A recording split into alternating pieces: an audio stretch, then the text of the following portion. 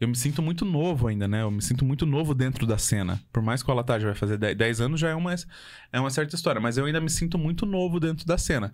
Então, só que com 10 anos, a gente já... Eu, enquanto profissional, eu consegui conquistar algumas coisas que eram objetivos para mim.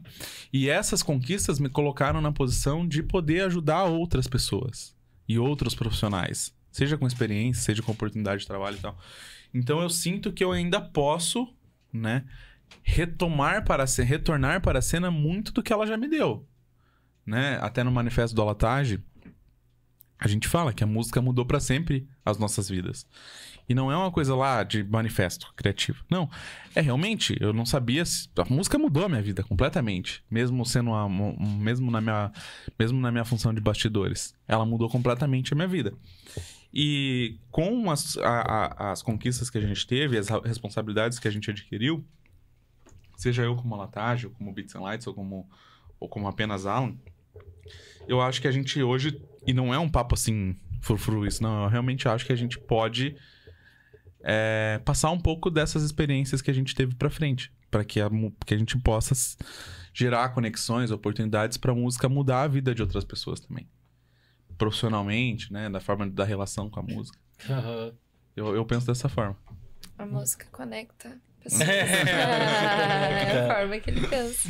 Mas é, agora vou, tirando um pouco essa parte profissional toda, é que nem você tem um relacionamento já de tempo, a, a tua namorada também curte a música eletrônica, com certeza? Não... É, não tanto quanto eu.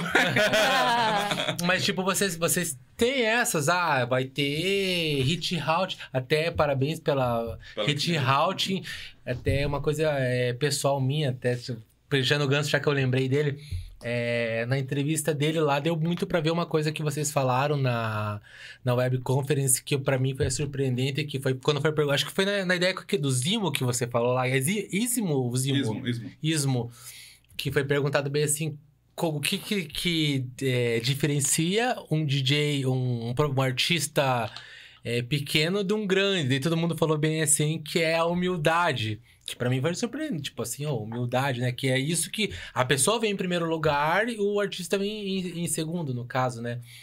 E pensando, pensando vamos dizer assim, no, num contexto geral em, em, em, tudo, tudo isso que você, que você fez e tal, qual que seria a tua, a tua satisfação, no caso ali, tu, pensando em, em música, no caso? Ou de, de, que você fala assim, ah, legado, o Aletagem vai deixar um legado, algo assim. É, eu penso assim, ó. o diretor. Diretor. Não. Primeiro sobre a, a Carol, né, minha namorada. É claro que, assim, é, ela gosta de música eletrônica, né? Até porque é, eu acho que é, eu ainda estou à procura de um caso que, pro, que comprove minha. que deixe minha tese mais que, que derruba minha tese, na verdade, que é eu acho impossível alguém, seja um DJ, ou seja um artista, ou seja trabalhar com bastidores, ter um relacionamento afetivo com alguém que não goste ou que odeie música eletrônica. É. Eu também acho. Eu não conheço nenhum caso acho ainda. Que, é que dure, né? Ah, Já teve casos. É verdade, é verdade. Então, assim, é claro que a Carol gosta e, e, e, e, é uma posição um pouco ingrata, às vezes, né? Porque, primeiro é o seguinte, cara, eu. Porra, já fui pra festa, né? A gente já curtiu intensamente, fica doidão lá e tal. Quando você não é ninguém, você não é ninguém. Você pode fazer lá o que for Sim. e você não é ninguém. Hoje em dia, a, a minha relação com a noite, ela mudou muito. Ela mudou demais.